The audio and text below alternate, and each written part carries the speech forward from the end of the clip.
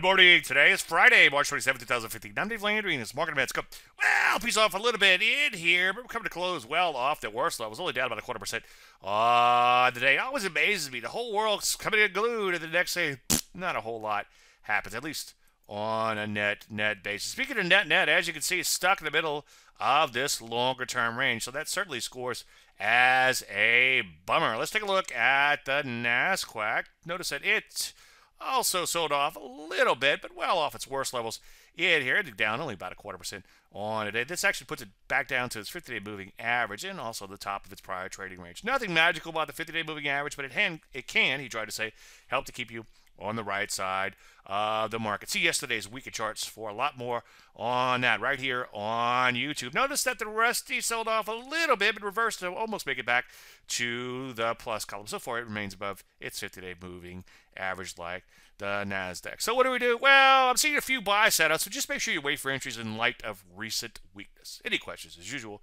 Dave at DaveLandry.com. I'm Dave Landry, and you should market a little bit more in a minute.